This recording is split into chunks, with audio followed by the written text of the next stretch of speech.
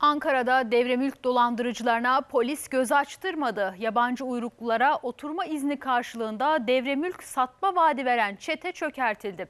Çetenin devremülk sahiplerini de dolandırdığı ortaya çıktı. Yabancı uyruklulara oturma izni almaları için devremülk satacaklarını vaat ettiler. Hem paralarını hem de vatandaşlık hayallerini çaldılar. İhbar üzerine harekete geçen polis devremülk dolandırıcılarını takip aldı.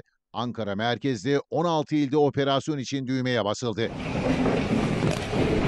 Adreslere eş zamanlı baskınlar yapıldı, 40 şüpheli yakalandı. Çok sayıda cep telefonu ve sim karta el konuldu. Yapılan aramalarda çetenin suç yöntemi deşifre edildi. Şebeke üyelerinin mağdurlarla nasıl konuşacağını gösteren kağıtlar ele geçirildi.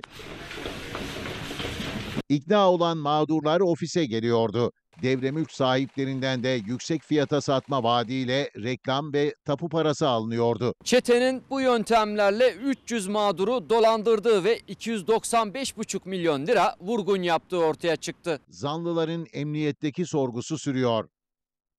Daha fazla video izlemek için kanalımıza abone olabilir, ilk izleyen olmak isterseniz bildirimleri açabilirsiniz.